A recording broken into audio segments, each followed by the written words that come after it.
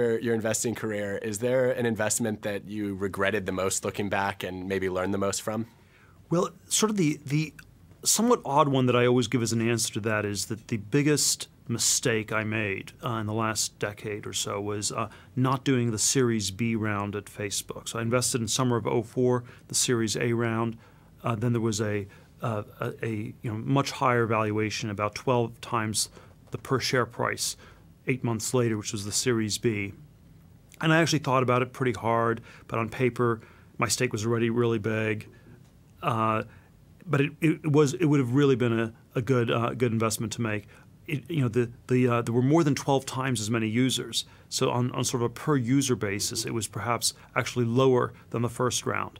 And so there are all these intuitions we have um, about these these companies that are quite tend to be quite off.